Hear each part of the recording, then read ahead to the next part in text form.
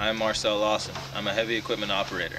I'm going to demonstrate the startup procedure for this backhoe behind me. I have already gone through a safety inspection and control identification. We do startup procedures to get familiar with the controls, to make sure all attachments work properly, and to cycle hydraulic fluid through the system. Let me demonstrate.